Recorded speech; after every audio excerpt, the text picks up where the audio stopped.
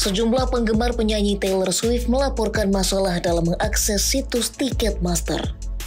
Hal ini mengakibatkan penjualan enam pertunjukan Taylor di Paris dan Lyon tertunda. Menanggapi hal itu, Ticketmaster menyatakan bahwa tiket pertunjukan di Perancis masih tersedia dan penyedia sedang bekerja untuk menyelesaikan masalah itu dengan cepat.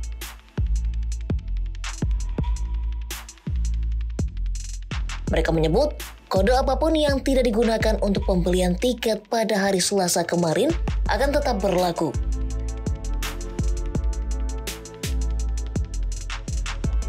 Kemudian para penggemar yang terdampak juga akan diberitahu secara langsung tentang tanggal dan waktu penjualan tiket yang baru.